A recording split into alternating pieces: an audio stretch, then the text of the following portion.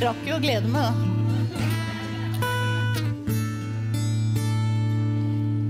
Jeg er ikke helt som de andre.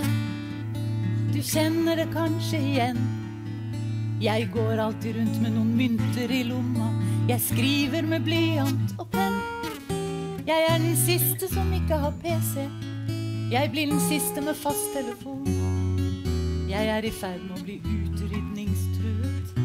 Jeg er den siste analoge person.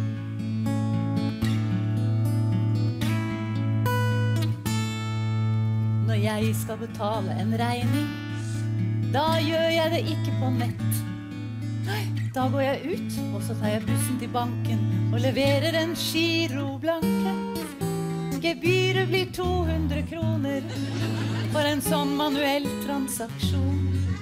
Man kan si at det koster å være den siste analoge versjonen.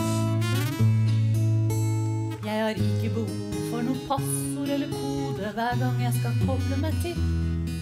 Nei, jeg lagrer det meste her oppe i hodet, og jeg kan laste det ned når jeg vil. Jeg føler jeg har det jeg trenger i livet. Jeg får gjort det jeg skal uansett. For den skrivemaskinen jeg bruker, er jo faktisk både PC og printer i ett.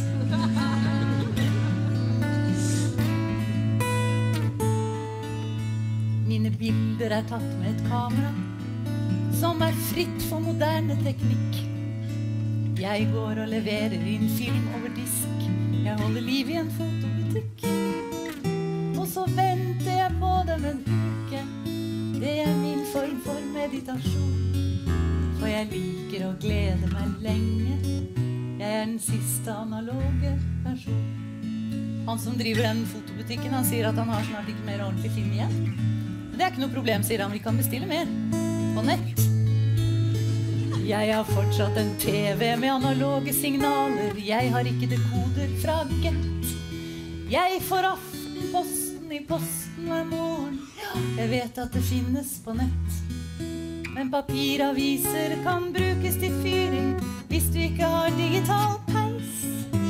Og jeg vil heller ha én venn som jeg kan besøke, enn 300 venner på Face.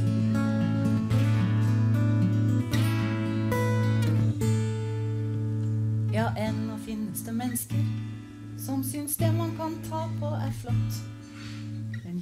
Men roterer, og verden går videre, og snart er vi borte for godt. Men skulle du ha knipset et bilde, så vil du ha på din smarttelefon et fint, lite digitalt minne om den siste analoge personen. Jeg tror jeg skriver til tannlegen og takker for brevet. jeg.